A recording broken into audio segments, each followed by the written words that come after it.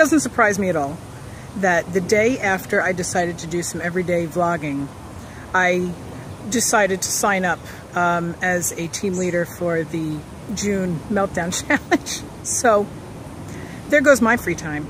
Um, because it's a really good way for people to be introduced to uh, different um, lifestyle and weight loss programs and it's a good way for me to get clients and it's a good way for me to stay on track with my weight loss goals and um, it's just something that I, I think is the right thing for me to do right now.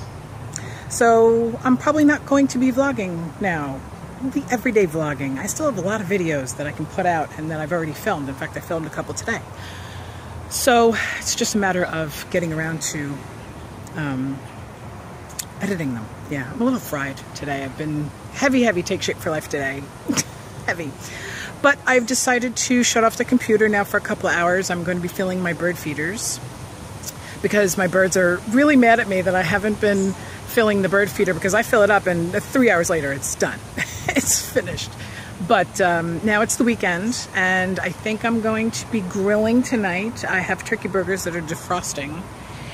Um, but it could rain, uh, you know, whatever. Um, but anyway, I just figured I would give you guys an explanation.